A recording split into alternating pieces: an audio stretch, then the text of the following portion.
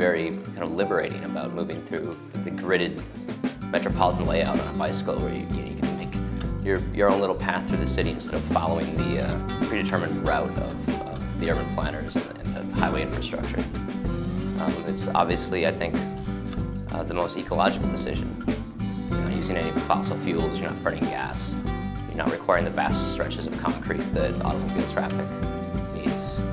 There's something very social about it too. We organize bike rides from the shop and from other locations around town and you get 20 or 50 people together and you go out riding, but it's, it, it's not an exercise. It's not, you're not going out for aerobic activity, you go out because it's social. I'm a co-owner of Open Bicycle and Chorus Gallery and Superbi Design Collaborative. Uh, so we're a one creative basement. Um, we operate as a retail bike shop and repair shop. Uh, we also have a fully functioning art gallery. Uh, revolves every four six weeks, um, shows, and then we have a uh, multidisciplinary design studio. Open is, um, it's a bike shop uh, at first glance, but it's, it's much more than that.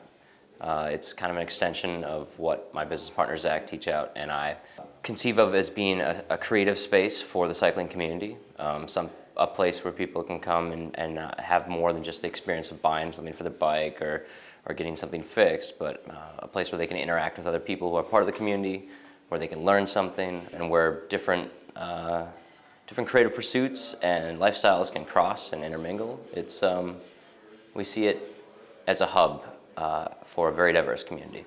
I think one of the main features of the upcoming fixed gear or track bike culture is the customization of a bicycle that really makes your bike stand alone and that's what gets the attention of others. We feel very strongly about bicycles. I mean, it, because it does act as all these different, very personal elements in your life. If it's your source of uh, exercise or freedom or transportation or it's what gets you your, your groceries or for you know couriers, it's what pays the bills becomes something, a very personal object. It's not just another thing that you buy and put on the shelf and use once in a while. It becomes a, your, your, daily friend. So sometimes you find that, you know, going into a store and pointing to something and say, I want that bike, and having them hand it to you isn't, isn't exactly gonna cut it anymore. You want something that suits you personally. And to a certain extent, you can do that through accessorizing. You can add this part or that part. But I think a lot of people start to realize that they want um, a bicycle that's built entirely from scratch for them, that suits their body, because everyone's different. Um, it suits their riding style, their strengths, their daily commute, the, the terrain they're going to ride over. Um, and so one of the services we offer is we work with several local frame builders. And you can come into our shop, we'll sit down and we'll talk. We'll talk about your riding style, we'll talk about the bikes you've owned. Uh, we'll take measurements of all the limbs on your body. Um, and we'll go out for rides with you and look at your riding style and see how you ride your current bike and what things maybe are comfortable and what doesn't look comfortable. Um, and we'll talk about even more esoteric things. We'll talk about, you know, what movies you like and uh, what furniture is interesting to you and all these other elements that we kind of filter through this process to drive a design for a bicycle that is truly yours.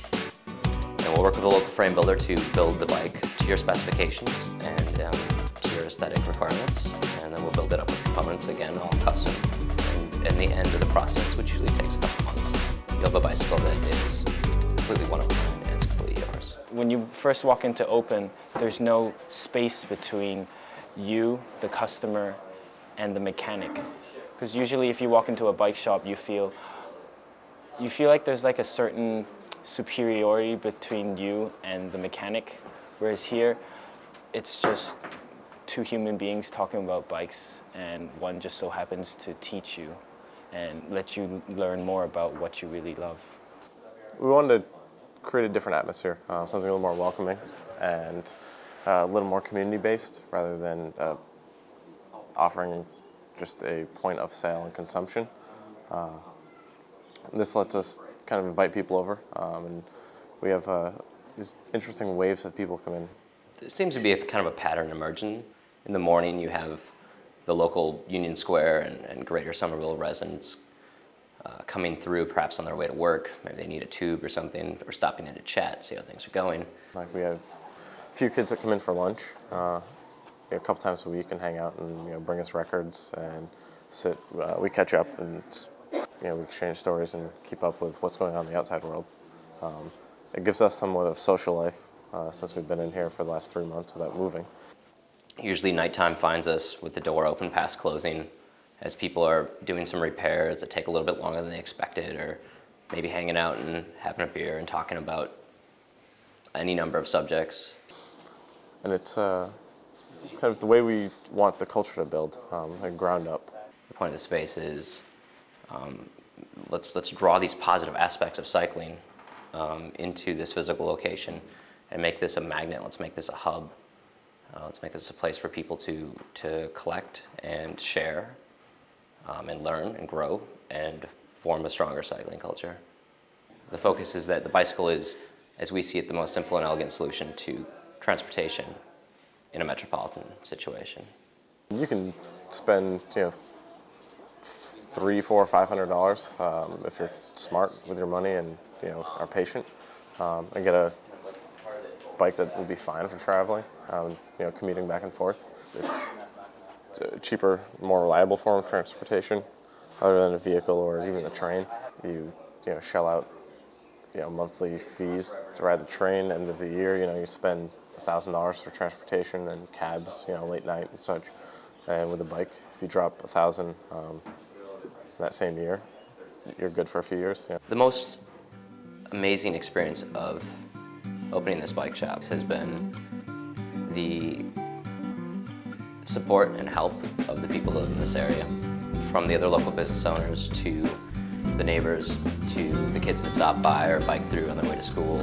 I've just been impressed with how tight knit and um, supportive this community is. It's something I honestly didn't expect. Um, everyone thinks of Boston as, as, being cold and kind of indifferent, that kind of Boston attitude. And I think uh, if I've learned anything, it's that, a lot to offer. They care about the community. And uh, I, I hope we can repay that in kind.